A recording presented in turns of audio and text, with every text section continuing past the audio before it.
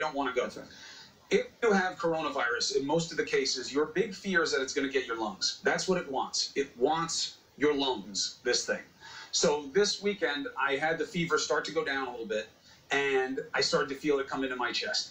So I went to get a chest x-ray, and I want you guys to see this just so you can see what we're looking for uh, and not, okay?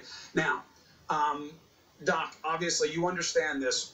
What we're looking for in the lungs are big white areas. Um, what are the terms that people will hear? What are they looking for, and what do you see uh, in this mighty expanse of chest in front of you? well, I mean, you're right. I mean, one of the things that uh, you'll hear is um, is infiltrate. Uh, do you have an infiltrate in your in your chest, uh, in your in your lungs? And that's basically a collection of inflammatory fluid.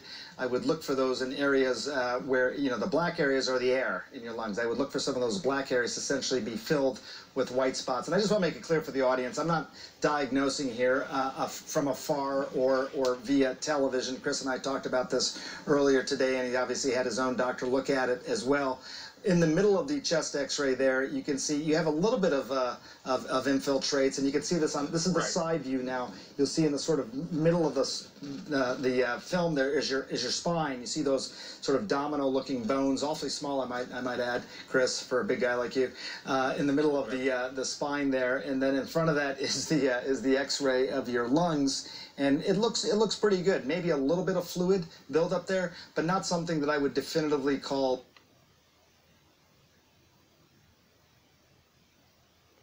you can see you have a little bit of, uh, of, of, infiltrates, and you can see this on this is the right. side view now. You'll see in the sort of middle of this uh, the uh, film there is your is your spine. You see those sort of domino-looking bones, awfully small, I might I might add, Chris, for a big guy like you, uh, in the middle of the uh, the spine there, and then in front of that is the uh, is the X-ray of your lung.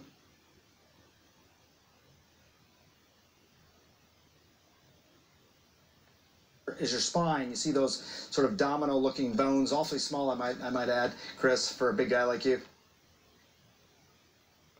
Bones, awfully small, I might, I might add, Chris, for a big guy like you.